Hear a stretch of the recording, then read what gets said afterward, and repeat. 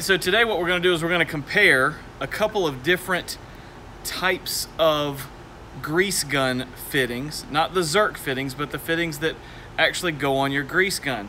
So I have my grease gun here today, and I also have two different styles. I have a Lock-N-Lube, which is kind of the name brand. It's it's what a lot of different people use. And then I have another one called a Varsk.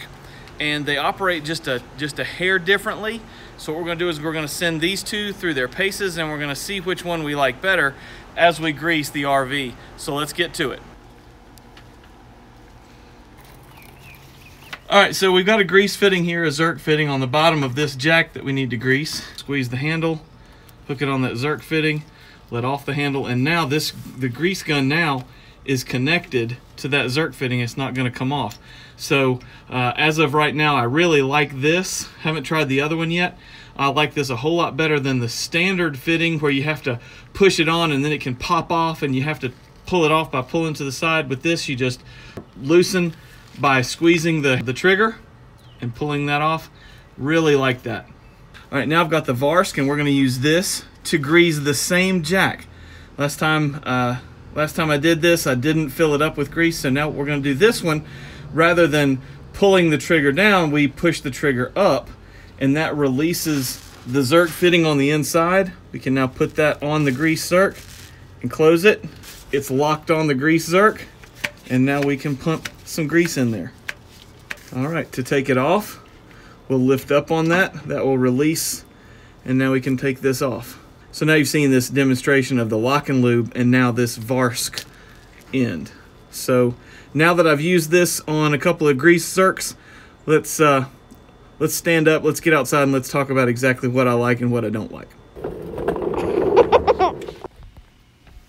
okay, so after almost two years of using these and switching them back and forth between the Lock-N-Lube and the Varsk, just to decide which one I like better, I'm gonna have to go with the Lock-N-Lube. It's more expensive, it is the name brand, but it's a whole lot easier to use. It's very quick. Uh, the thumb depression system just grabs onto the Zerk fitting and and that's super simple. I will say I did like, uh, what I do like about the Varsk is that once you, once you lock it on, it won't come off. The problem is that it is so long from here to here so that, that distance is so long and a lot of grease fittings, a lot of Zerk fittings are in real small, hard to get places. A matter of fact, I have a, a, few that I can't even get to with this, so I have to use kind of the old school, have to take this off, put the old one on and just kind of push it on to see if I can get it there because the distance here is just too long to fit in those little tight places.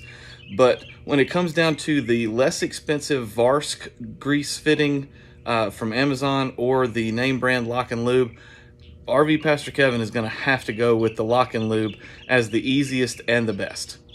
This is not sponsored. This is not, they, nobody gave me anything. I bought these both on my own. And I have just found that over the past couple of years, using this has just been my go-to. It makes it a whole lot easier. And uh, I don't, I have yet to have this pop off once I lock it onto a grease fitting. So with that, if you're looking at either one of these, I'm going to recommend this, uh, but I'm also going to recommend that you make it to church on Sunday.